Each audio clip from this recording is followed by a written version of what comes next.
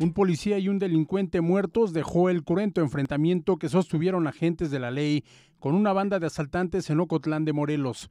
Sobre carretera federal a la altura del acceso a Asunción Ochislán, dos agentes estatales de investigaciones detectaron una camioneta repartidora de pan robada en el camino de terracería que conduce de El Vergel a la P. Jutla. Los individuos que viajaban en la camioneta robada eran escoltados por sujetos armados desde otro vehículo. Estos accionaron armas de fuego sobre la policía. Ahí se desató la balacera en la que se hicieron más de 40 disparos.